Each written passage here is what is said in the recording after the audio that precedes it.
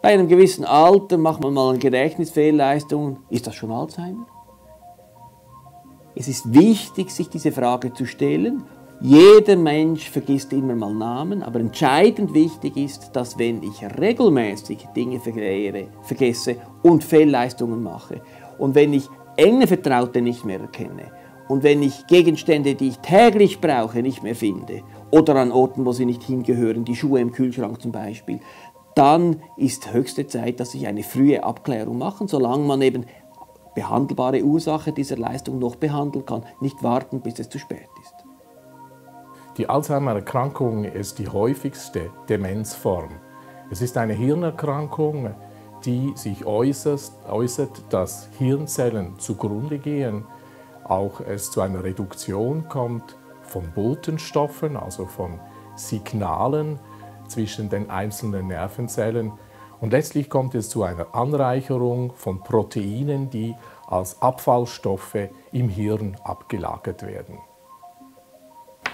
Die Symptome der Alzheimer-Erkrankungen sind zu Beginn sehr subtil und äußern sich darin, dass kompliziertere Handlungen im Alltag nicht mehr normal gelöst werden können.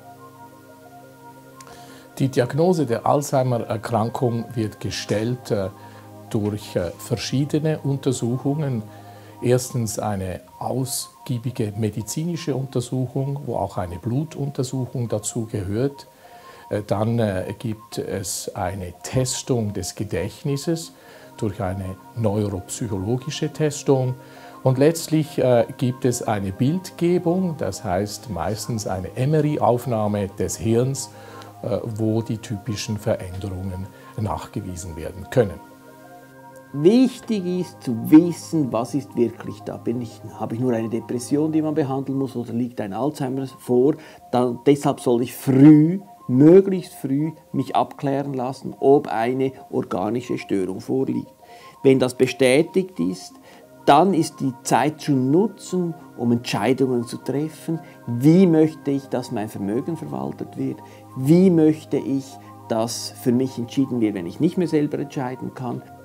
Pflege bei Demenzkranken ist sehr teuer, weil sie täglich nötig ist, auch an Sonntagen und in, in gewissen Fällen auch in der Nacht. Deshalb kommen schnell einmal 10.000 Franken Kosten auf einem zu. Wer nicht reich ist, verbraucht sein Vermögen schnell auf. Wenn er kein Vermögen mehr hat oder kein großes Vermögen mehr hat, dann sind die Ergänzungsleistungen zuständig.